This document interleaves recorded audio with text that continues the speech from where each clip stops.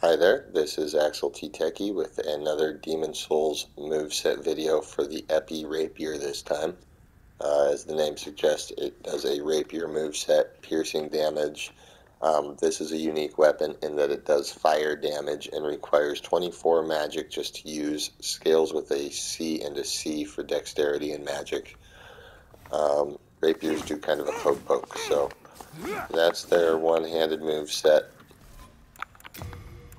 Their specialty is being able to poke poke around a shield though, so there is what they do with the shield.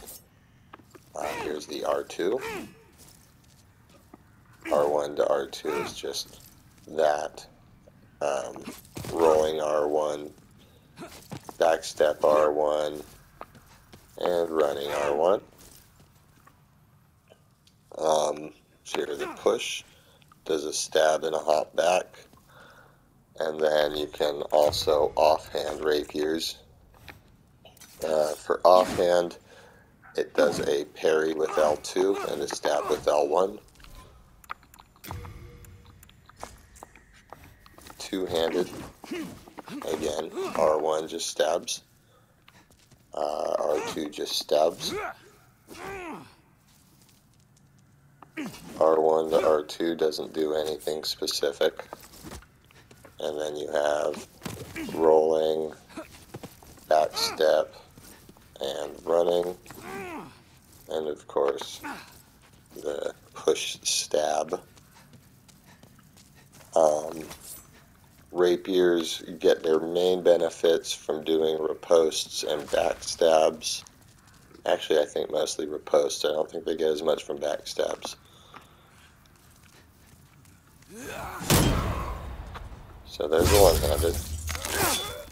This is not at all upgraded or anything, obviously. And running on New Game Plus.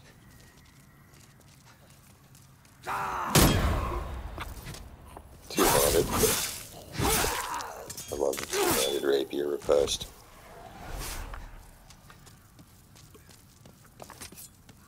For backstabs. One-handed. Still does decent damage for that. Um, a lot of things in this series are indeed weak to fire, so it's a good way to kill things. Uh, the entire Stone Fang tunnel. Two-handed. Uh, the entire Stone Fang tunnel is weak, weak to pierce. So a rapier is a great way to get through to them, or through their armor. Um, and yeah, so this is the Epee Rapier. Does a pretty decent amount of damage and doesn't take up a whole lot of stamina for what it is.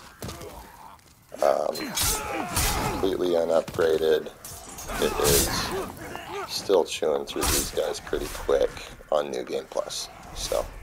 Yep. Thank you for watching. Please hit the like and subscribe buttons. And if you feel like donating a dollar or two, I will put a link down in the description.